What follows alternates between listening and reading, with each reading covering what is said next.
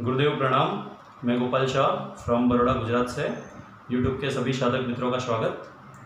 गुरुदेव, बहुत टाइम पहले व्हाट्सएप पे अमुक मैसेज आए थे कि लड़कियों और औरतों को वश में किया जा सकता है। तो क्या ऐसा कोई गुरु मंत्र होता है जिससे ये संभव हो सके? कृपया इस पर प्रकाश डालें। स्वागत और अभिनंदन आज इस वीडियो के सौजन्य से असल में ये बहुत पुराना सवाल था। कई सारे लड़के लोग कभी कभी व्हाट्सअप पे मैसेज करते हैं, क्योंकि हमारे वीडियो को देख करके उनको लगता है कि गुरुजी तंत्र के भी ज्ञाता हैं, मंत्रों के भी ज्ञाता हो सकते हैं, कि महिलाओं को, लड़कियों को, स्त्रियों को या प्रेमिकाओं को बस में किया जाए तो मैं उनसे पूछता हूँ, तुम अपनी प्रेमिका को क्यों बस में करना चाहते हो? जहाँ प्रेम नाम है, वहाँ वसीकरण की क्या आवश्यकता है? वो कहते हैं, गुरुदेव, पहले उसने हमारे साथ में रही, खाया, पिया, मौज मस्ती लिया, अब वो हमारे टच में नहीं रहती है। ऐसा कि ओशो सन्यासियों ने भी इस तरह के कुछ लोगों ने हमसे संपर्क किया है। मैं नाम तो नहीं खोल सकता हूँ, लेकिन मैं अनुभव की बात बोल रहा हूँ, जो दिक्कत आई है। तो ऐसे ओशो सन्यासी भी कई सारे जो अपने को ओशो सन्यासी कहते हैं, बड़ा शर्मनाक लगता है हमारे लिए।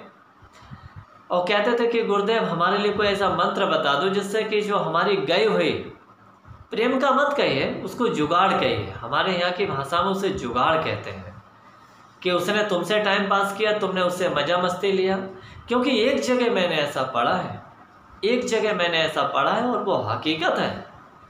कि महिलाएँ दौलत के चक्कर में अपनी इज़्ज़त दाव पे लगा देती हैं और पुरुष महिलाओं के चक्कर में अपनी दौलत दाव पे लगा देते हैं। है ना मज़े की बात? तो इसी तरीके की जो जुगाड़बंदी है, बहुत सारे महिलाएँ और स्त्री पुरुष एक दूसरे से मज़ा मस्ती लेते हैं, पैसे का प्रयोग, दुरुपयोग, सद, जो भी है वो करते हैं। लेकिन जब वो दूर चली जाती है, महिलाओं में एक प्रकृति बनाई है परमात्मा ने। पुरुषों के अंदर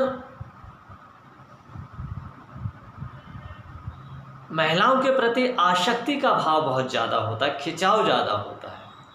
जबकि महिलाओं के अंदर ये मात्रा काफ़ी कम होती है।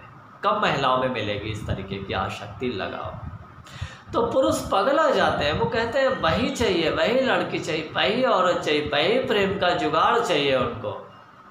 उसी से वो सेक्स करेंगे। कोई गुरुमंत्र मिल जाए तो बड़े बड़े तांत्रिकों के चक्कर में अपना पैसा और समय बर्बाद करते हैं। हमसे भी संपर्क इस तरह के कुछ लोगों ने किया, लेकिन हमने कहा, फिर क्या करोगे? बोले, हम फिर एक बार उसके साथ सेक्स करना चाहते हैं। हमारा, उसने पैसा तो खूब उड़ाया, खूब खाया, पिया, लेकिन उसे सेक्स करने का मौका नहीं मिला। तब तक वो हाथ से निकल गई। तो मैंने कहा, आप ऐसा क्यों सोचते हो? तुम कितनी गिरी हुई सोच है तुम्हारी। उसने तुम्हारा पैसा खाया तुम्हारा नहीं था, उसके हिस्से में था। उसका लेन देन था, वो उसने पूरा किया। नहीं तो तुम तो एक चवन्नी भी खर्च नहीं करोगे किसी के ऊपर जो है। तुमने अपने लालच में आके किया, अपनी वासना के कारण किया है। अपने हवस के कारण उस पर खर्च किया है। वो लेन देन था, पूरा हो गया। जो तुमको फॉलो नहीं कर रही है, जो तुम्हारे से अटैच नहीं है टच में नहीं है, ऐसे महिला से तुम्हें प्यार नहीं मिल सकता है। और वासना कभी तुम्हारी पूरी नहीं हो सकती है। वासना की निवृत्ति के लिए केवल या तो हठयोग के गहरे प्रयोग किए जाएँ या फिर तंत्र का मार्ग है। यही दो मार्ग ऐसे मुख्य हैं जिनके माध्यम से तुम्हारी जो वासना है वो उपासना में रूपांतरित तो हो सकती है। ये उसके लिए साधना का मार्ग अपनाना पड़ेगा।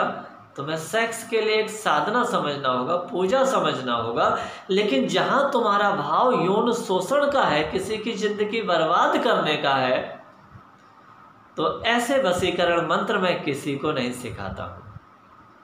ईश्वर हमें क्षमा करे, कहीं और बहुत सारे लोगों ने काफ़ी ऑफ़र दिए बीस बीस पचास पचास हज़ार एक एक लाख रुपए के, कि गुरुदेव, एक बार हमें उससे सेक्स करवाने के लिए आप मंत्र कोई बता दीजिए, कुछ हमने कहा, निकलो यहाँ से, जाओ। हाथ जोड़ लिए, क्षमा करो, तुम्हें शायद गलत फहमी हुई है। हम इस लायक नहीं है। हम किसी नारी के प्रति बलात्कार, ये तो ज़िंदा बलात्कार है। जैसे कोई तमंचे के बल पे किसी लड़की के साथ में ज़ोर ज़बरदस्ती करता है, वो भी बलात्कार है। और एक मंत्र के बल के द्वारा उसकी साइकोलॉजी पे एक प्रेशर बनाया जा रहा है, ताकि वो तुम्हारी बात को मान ले। तुम्हारी बात को फॉलो करे तो मंत्र के दबाव में आकर के तो वो तो एक गलत है ना मंत्र का दुरुपयोग है।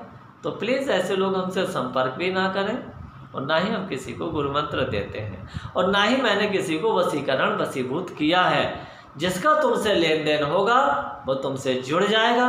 लेन देन नहीं होगा, जितने दिन का होगा, फिर उसके बाद डिटैच हो जाएगा, अलगाव हो जाएगा। जीवन है, कितने मिलते हैं, कितने जुलते हैं, क्यों तुम परेशान होते हो? कोशिश मत करो किसी को वसीभूत करने की। क्योंकि तुम किसी को वसीभूत नहीं कर सकते हो, तुम वसीभूत पहले से हो उसके।